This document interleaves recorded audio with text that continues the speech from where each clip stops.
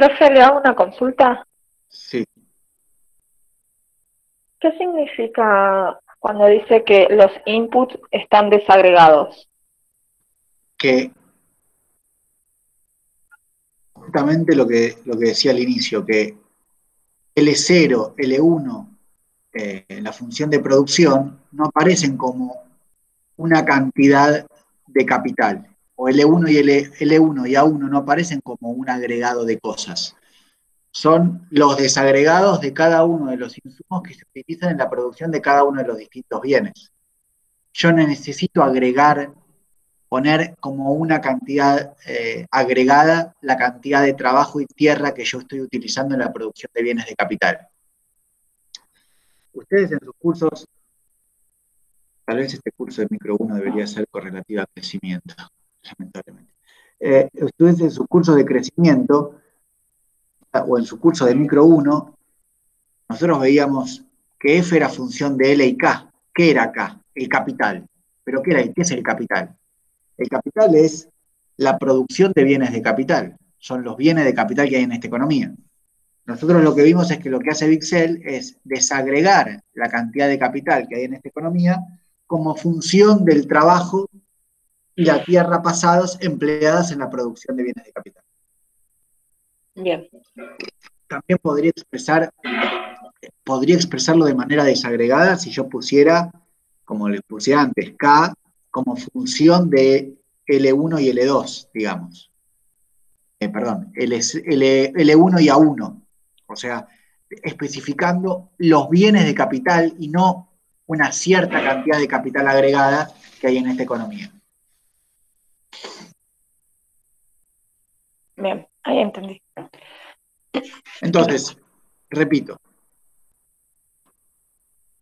lo que vimos hasta en el análisis de Bixel es que para Bixel una caída de la tasa de interés que implica una caída en el cociente W1 sobre W0 y que implica entonces una caída en, el cociente de las productividades marginales pasadas con respecto a la presente, supone un movimiento contrario del el empleo, o sea, de la conveniencia de emplear a los factores productivos, al trabajo, de desplazarlo de la producción corriente a la producción de trabajo para producir bienes de capital. Trabajo corriente a trabajo pasado o si hoy los estoy empleando para producción de bienes de consumo en el futuro. Y entonces, como esto aumenta, esto aumenta, y lo mismo podemos hacer con la tierra y en la renta, una caída en la tasa de interés necesariamente aumenta la demanda de capital, dice. El problema del análisis de Bixel es que en realidad es válido solamente cuando hay dos inputs. Porque cuando hay dos inputs, dos insumos, trabajo y tierra, trabajo y capital, digo capital como si fuera un factor, eh, trabajo pasado y trabajo presente, pero no más de dos, una caída de la productividad marginal, eh, perdón, una, sí, el, incremento de la demanda de uno de ellos al, otro implica necesariamente que caiga la productividad marginal del input cuya demanda aumenta. O sea, si yo tengo trabajo pasado y presente y cae el trabajo pasado, necesariamente va a aumentar el trabajo presente. Y el aumento del trabajo presente, digo, porque el trabajo o lo dispongo entre trabajo presente y trabajo pasado, o nada más, no tengo otra opción. Y si solo tengo dos inputs, el aumento de, la, de inputs, quiero decir, o si solo tengo eh, como, como, argumento de la función de producción al trabajo presente y al trabajo pasado, si aumenta el trabajo presente, va a caer su productividad marginal y va a aumentar la productividad marginal del trabajo pasado. Que es un poco como reacciona Excel, como si trabajo fuera por un lado. Sí, se me perdieron. ¿Me perdieron? Hola. Sí. Sí, no sé si a mí fue, pero se me cortó. Ok. No solo. Vuelvo, vuelvo. Eh, ¿Hasta dónde escucharon? Perdón. ¿El, repaso lo escucharon o si tiene solamente dos inputs. Ok. Digo, Si hay solamente dos inputs, o sea, dos, dos argumentos en la función de producción, es cierto que una caída de un aumento en el, en el input implica una caída de su productividad marginal. Por ejemplo, si aumenta eh, L1, aumenta la productividad marginal del factor L0 y disminuye la de L1.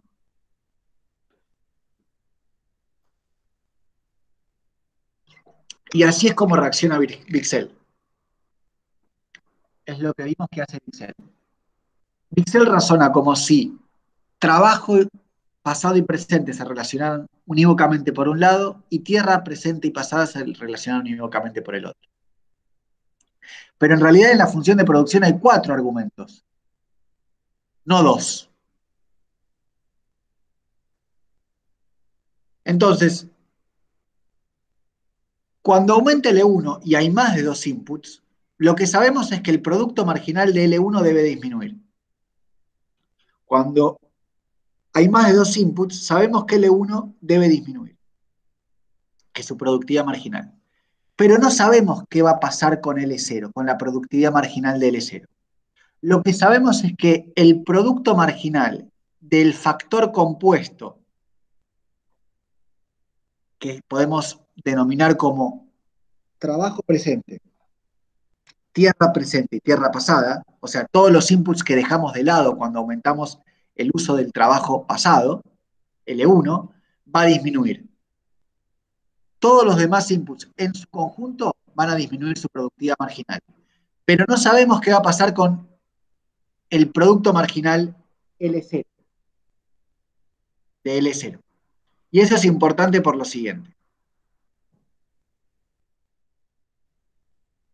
Supongamos que aumente L0. Lo mismo con L1, ¿no? Obviamente. Supongamos que aumente L0.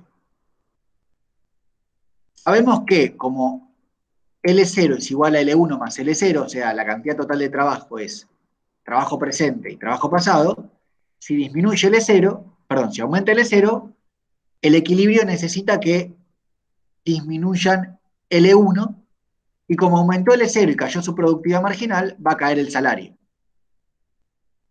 ¿Está bien? aumentó el E0, disminuye su productividad marginal, va a caer el salario. Si quieren, podemos ponerlo así para que sea más ordenado.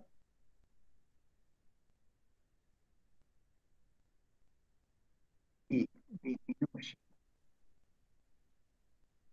el E0 y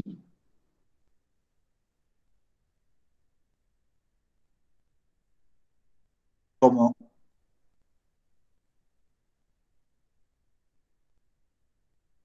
L, total, L total es igual a L1 más L0, también disminuye L1. ¿Está bien?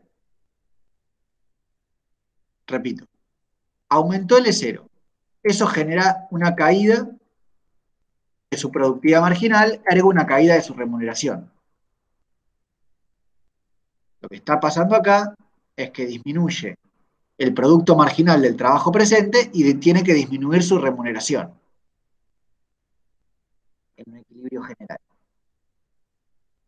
Pero como también el L va, es el L total es L1 más L0, si cayó esto y L total no cambió, necesariamente tiene que aumentar L1.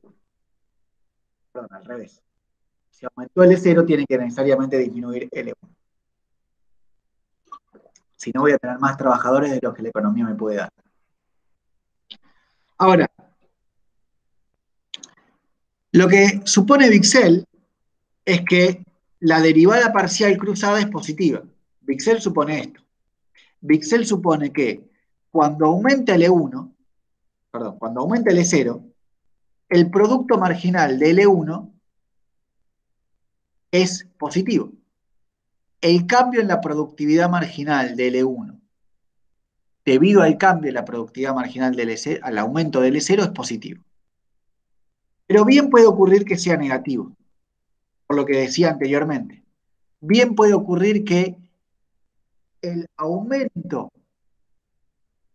en el factor L0 genere una disminución en el producto marginal del el trabajo pasado y no un aumento como Pixel supone.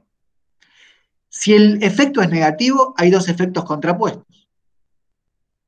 El producto marginal del trabajo aumenta porque está cayendo L1 por esto. Por esto sabemos que si cae L1, el producto marginal del trabajo va a aumentar. ¿Está bien? Pero paralelamente está aumentando la cantidad de L0 que a paridad de L1 genera una caída de la productividad marginal de L0. Perdón, perdón. Está aumentando el L0 que genera una caída de la productividad marginal de L1. Entonces, L1, sí, se pierde. Profe, sí, se está entrecortando mucho. Ese es el problema de Matilde, profe. Yo lo escucho bien. Ah. ¿Sí? Ah, bueno. Internet entonces. Ah. Eh, bueno. ¿Querés desconectarte y volver a conectarte?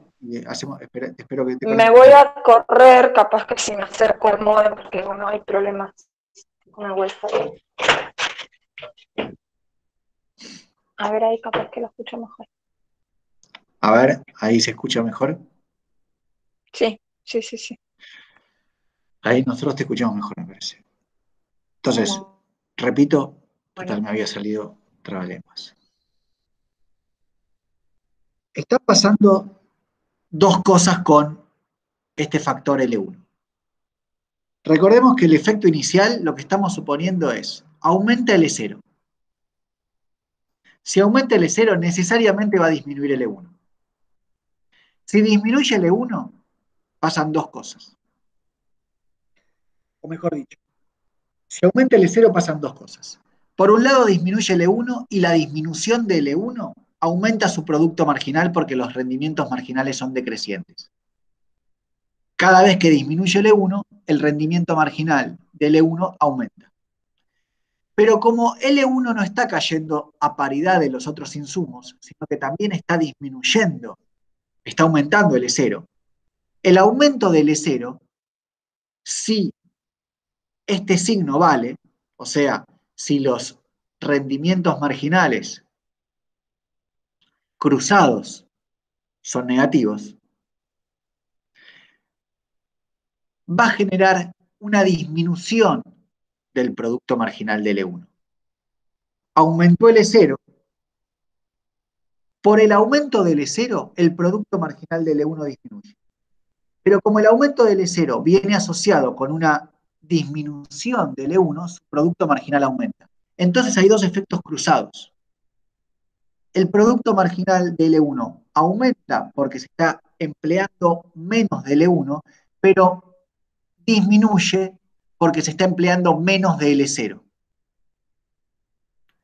Y bien puede ocurrir que el efecto indirecto, es decir, el efecto de la disminución de L0, perdón, del aumento de L0 sobre la disminución del producto marginal de L1, sea mayor al propio aumento directo de la disminución del E1 y su consecuente aumento del producto marginal. Si el segundo efecto domina el primero, el resultado final va a ser una caída del producto marginal del E1 y en consecuencia una caída del salario que se le paga al E1. O sea, va a caer W1. Y bien puede ser que esa caída sea en proporción mayor que lo que cae W0.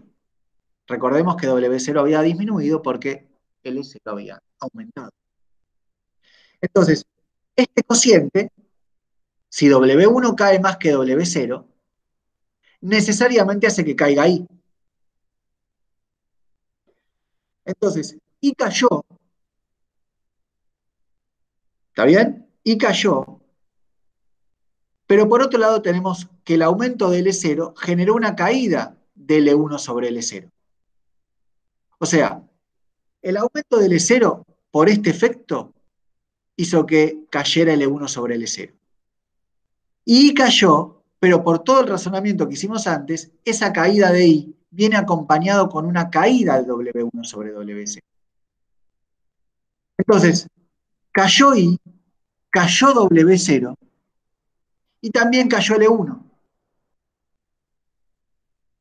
Ahora, fíjense, voy a volver aquí, fíjense que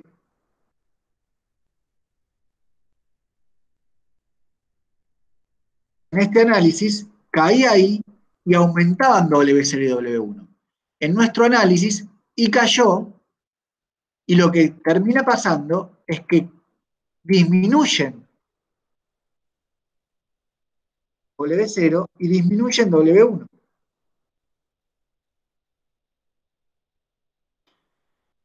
Y el mismo razonamiento podríamos hacer con beta 0, con I y beta 0 y A1. Entonces, el efecto total, el efecto total puede ser que la caída de I genere una caída en la demanda de capital y no un aumento como Vixel supone. Porque lo que, el, el, elemento crucial que Vixel no tiene en cuenta es este. Vixel supone que cada vez que aumenta el empleo de un factor, y el otro factor disminuye, o sea, si aumenta el E0 y disminuye la cantidad de L1, su producto marginal va a aumentar y su remuneración va a aumentar. Y si los efectos cruzados no se respetan, lo que puede ocurrir es que se muevan en direcciones opuestas. Y entonces, la caída de I bien puede ir acompañada con un aumento perdón, con una disminución de L0, de L1 y de W0. Es decir, aumenta L0, disminuye el cociente L1 sobre L0, pero también disminuye W1 sobre W0.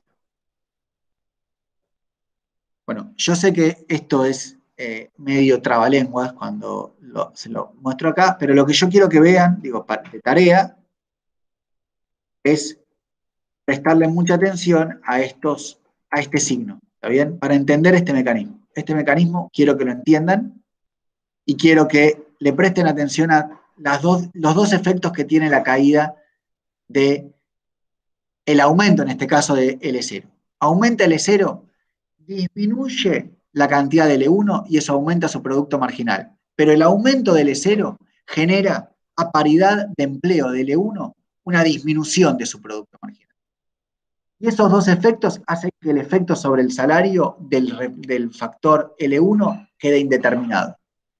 Si ese factor, si W1 cae, lo que tenemos es que cae W1 y cae W0, y si W1 cae en mayor proporción que W0, y puede caer, y puede caer L1 y W0.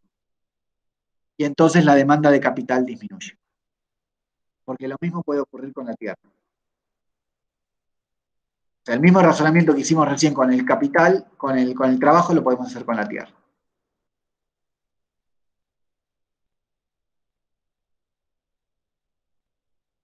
Lo que quiero que hagamos ahora para concluir esta parte, vamos a, hacer algo así. Vamos a trabajar eh, un poquito más ¿está bien? Vamos a eh, terminar esto, vamos a hacer una pausa un poquito más larga y después nos vamos a encontrar, no sé, once y media, doce menos cuarto y nos vamos a quedar hasta las doce y media, una menos cuarto, dando la primera parte de lo que, de lo que, de lo que viene. Porque lo que quiero hacer es que para el examen entre hasta lo que veamos la semana que viene. Después si queda algo por dar, veremos si lo daré en la próxima clase, pero no va a entrar para el examen. Pero para el examen quiero que entre lo que veamos hasta la semana que viene. Así la semana que viene terminamos con, todo el contenido para el examen del segundo parcial. ¿Está bien?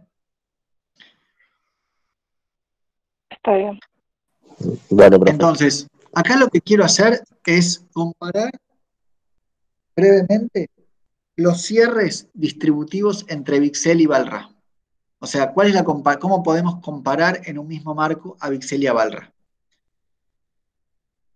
Supongamos que se produce un único bien de consumo.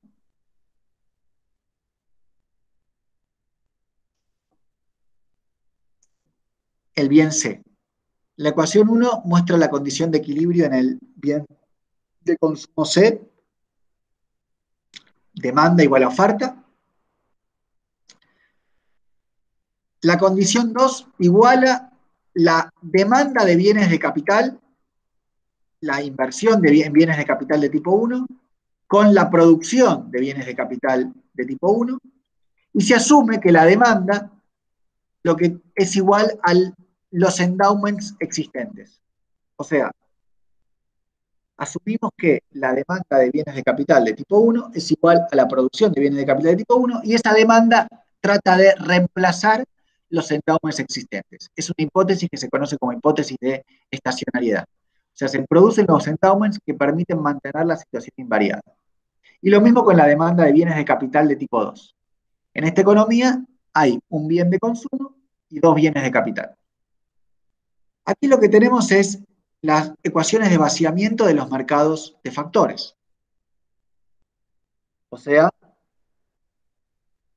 la cantidad total de trabajo es la cantidad total de trabajo en la producción del bien de consumo, más la cantidad total de trabajo en la producción de bienes de capital, o sea, requerimientos unitarios por cantidad total del bien de capital producido y requerimientos unitarios por bien, cantidad del bien de capital producido. Lo mismo con los endowments de los bienes de capital existentes. Esto es, es la cantidad del bien de capital requerida para la producción del bien de consumo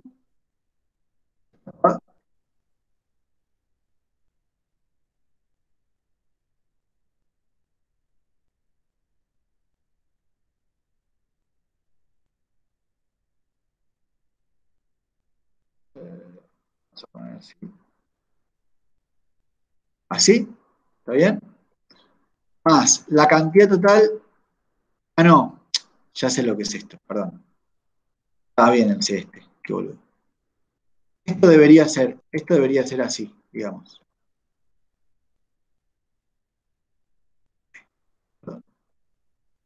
Esta es la cantidad total del bien de capital requerido en la producción del bien de consumo, K1C, multiplicado por la cantidad total de bien de, capital consumido, eh, producido, de bienes de consumo producidos. Acá podría haber puesto directamente, ¿sí?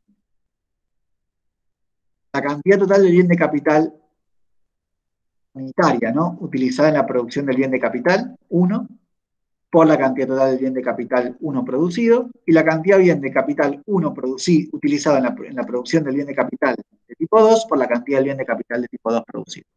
O sea, estos son los requerimientos unitarios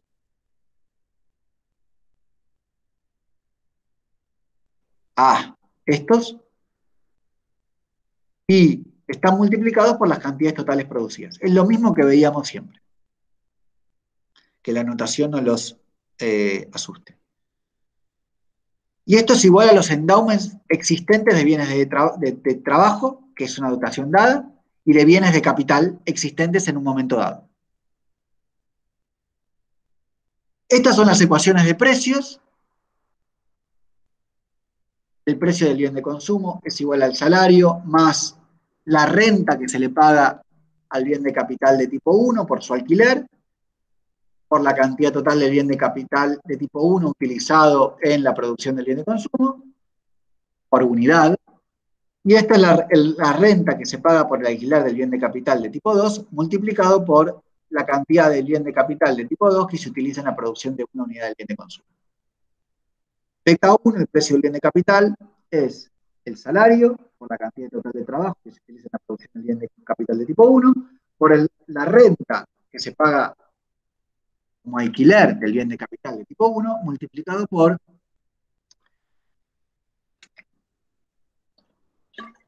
la cantidad del bien de capital de tipo 1 que se utiliza en la producción de una unidad del bien de capital de tipo 1 más la renta del bien de capital, que se paga el bien de capital de tipo 2, multiplicado por eh, el bien de capital eh, requerido de tipo 2 para producir una unidad del bien de capital de tipo 1. Y el precio del bien de consumo del bien de capital de tipo 2 tiene la interpretación similar. Aquí planteamos la, uniformidad de la tasa de retorno como la planteamos con Balra. Si reemplazamos estas condiciones aquí, obtenemos las ecuaciones de Sraff. Entonces, este sistema posee 11 ecuaciones y, 12 incógnitas. ¿Qué hace Bixel?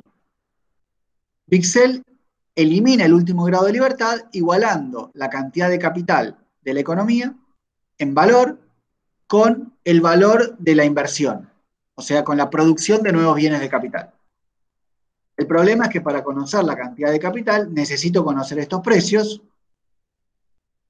y estos precios en general dependen de la distribución, que es lo que quiero conocer. O sea, suponer que hay una cantidad de capital R que depende de R antes de conocer, perdón, que depende de I antes de conocer I, es el problema que habíamos visto que tenía Bixel. ¿Qué es lo que hace Valra? Lo que hace Valra es asumir que las dotaciones de bienes de capital son un dato. Acuérdense que Valra supone que los endowments de bienes de capital, K1 y K2, no son variables endógenas, sino que son un dato. Entonces, elimina dos ecuaciones. Pero también elimina dos incógnitas.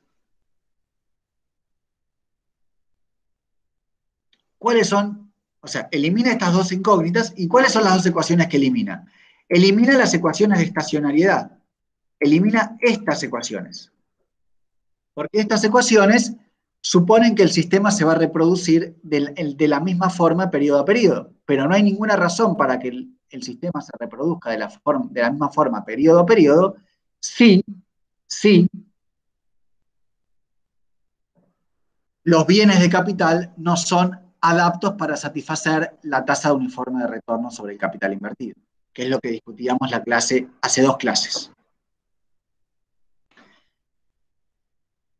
Entonces, elimina dos ecuaciones y dos incógnitas. El sistema ya no es más estacionario. Y la ecuación del capital en valor, esta ecuación 12, en realidad se, reemplaza por una igualdad entre ahorro e inversión. Entonces, ya no tengo que definir explícitamente la cantidad de capital en valor. Hay una magnitud de ahorro que se supone positivamente de la tasa de que depende positivamente de la tasa de interés y una magnitud de la inversión que depende negativamente de la tasa de interés. El problema del análisis de Valra, entonces, es que no hay determinación de precios eh, que rindan una tasa uniforme de retorno, por lo que vimos en el problema de Valra. Entonces, Lo que yo quiero que quede claro, digamos, de, este eh, análisis de la teoría neoclásica es que o bien se renuncia a la correspondencia entre precios observados y precios teóricos, es decir, se renuncia a determinar precios que rindan una tasa uniforme de retorno, como en Valrad, o bien se determinan precios que rinden una tasa uniforme de retorno, pero al costo de necesitar especificar al capital como una magnitud de valor como en Bixel. Lo que vamos a ver eh, a partir de la próxima clase, digamos, a partir del receso, es el problema que se conoce como el problema de la demanda de capital. Es decir, incluso asumiendo que el capital pudiera medirse especificarse como una magnitud de valor, no hay ninguna razón, y ya algo vimos en Bixel, por, lo por la cual una caída en la tasa de interés efectivamente genere un aumento de la demanda de capital.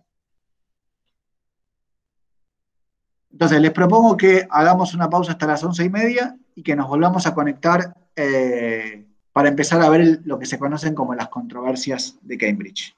¿Ok? Bueno, profe, le hago una consulta, capaz que ya lo dijo, que me cortó bastante. Sí. Eh, si igual